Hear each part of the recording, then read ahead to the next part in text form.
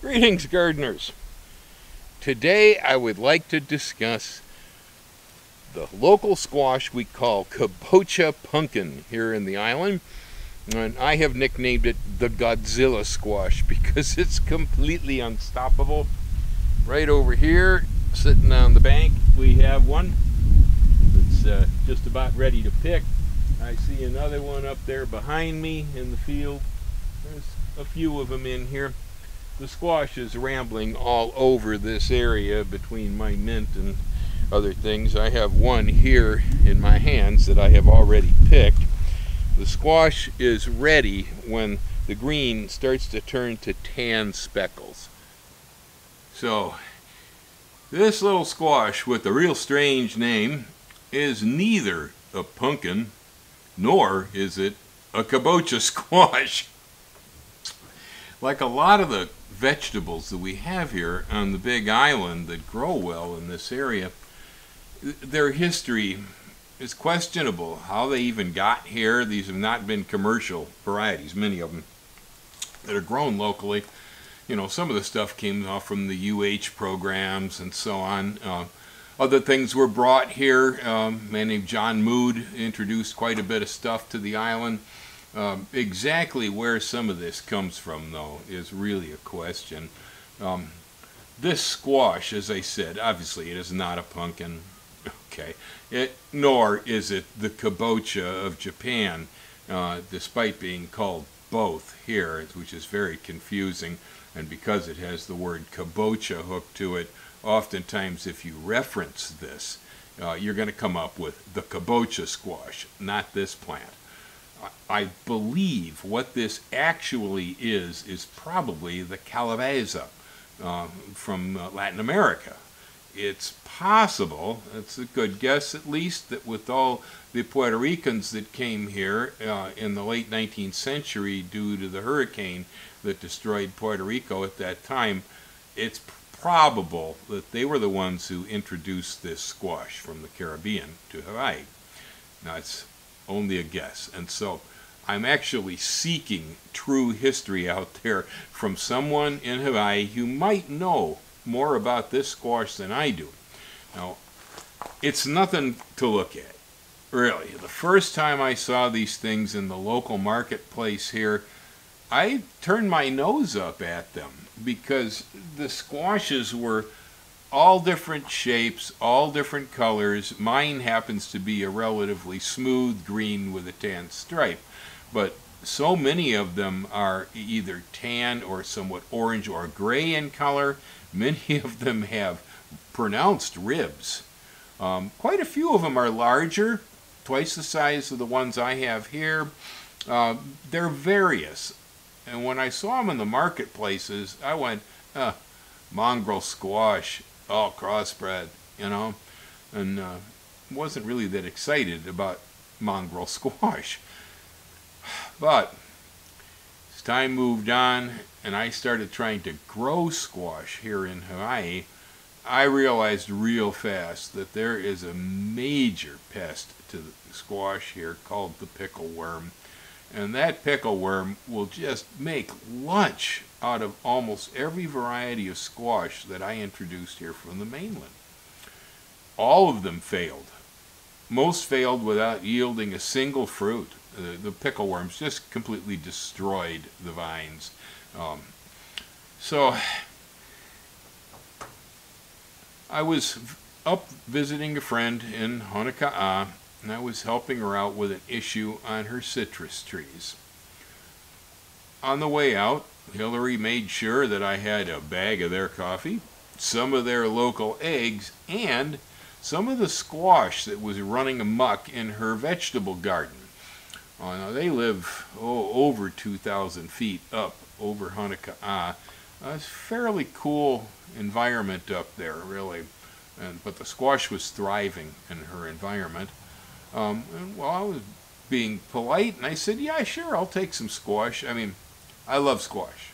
Another story there, too. We'll get to it. But um, I brought those squash home, and I cooked them up, and I went, oh, man.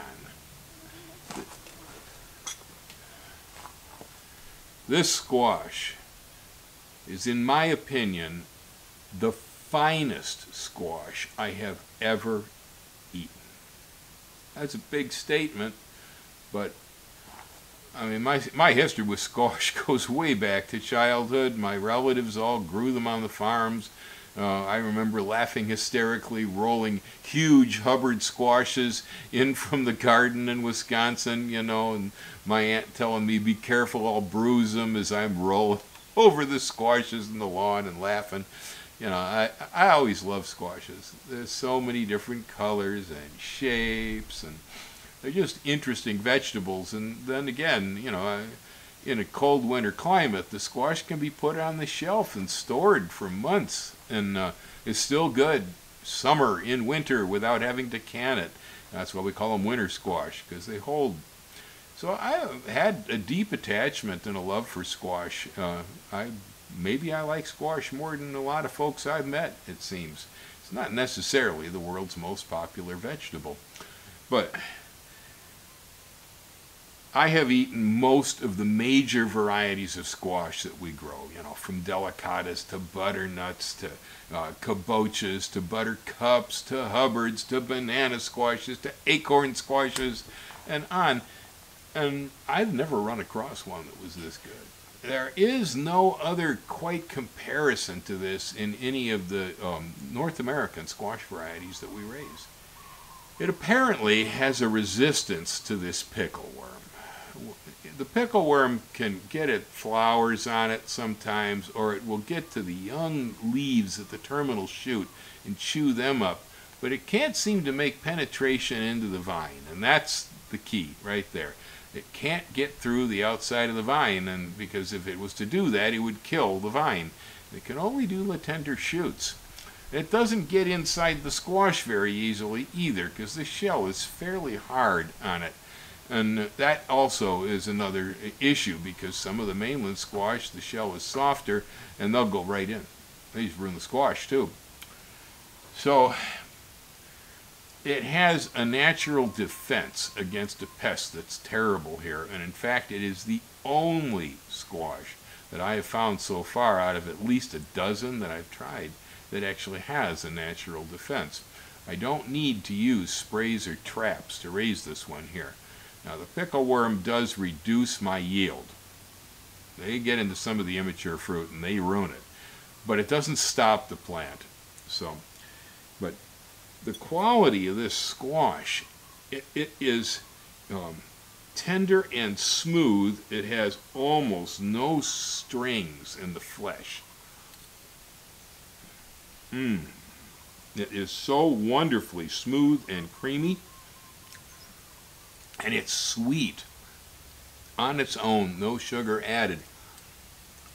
This squash is sweet. It's absolutely delicious, and uh, really, I've never eaten a better squash.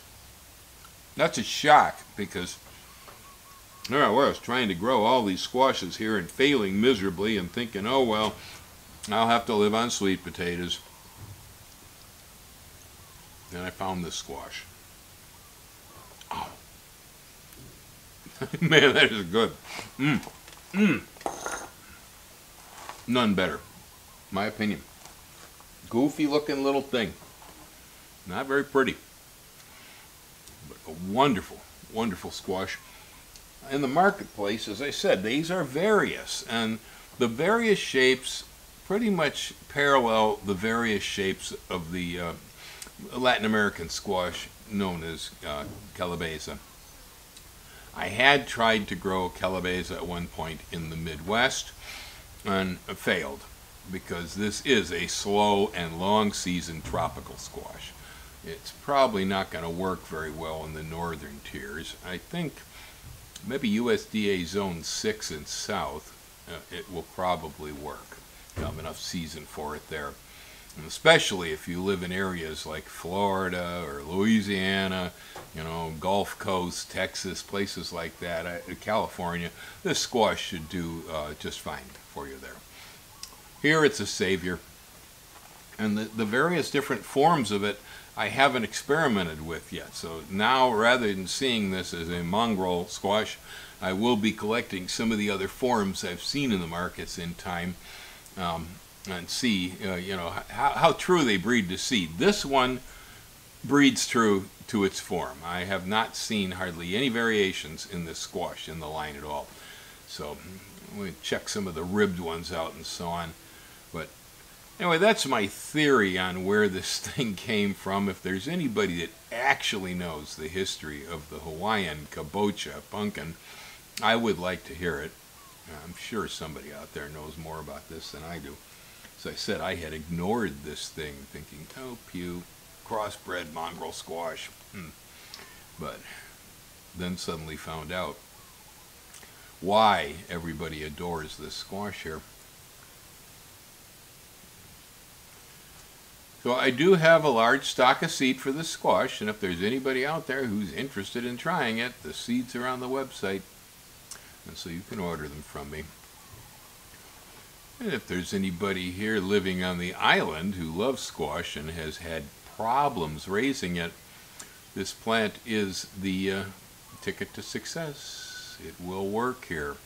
This is gradually what I'm discovering. Uh, so many of the rather unusual local vegetable varieties that exist here on the island but don't have a lot of commercial circulation um, actually are some of the best for raising here. So shop the farmers markets, look around, you see an interesting pepper or something that somebody's growing, you might want to try to buy it just to get your hands on the seeds.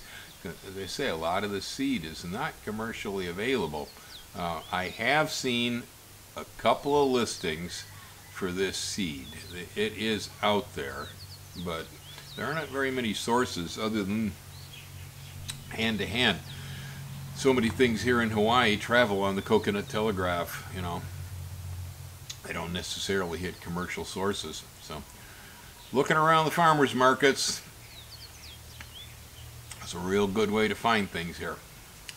Aloha, happy gardening, eat more squash, and it's good for you.